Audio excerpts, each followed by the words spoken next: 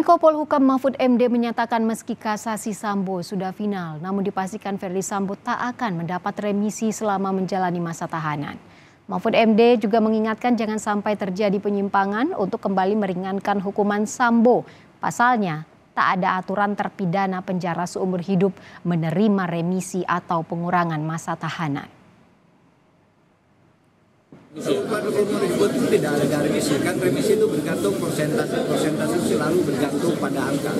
Jadi yang tidak akan ada remisi itu hukuman mati seumur hidup itu seumur hidup itu bukan angka S, SU, SEU itu tidak ada di remisi berapa persen, ada persennya.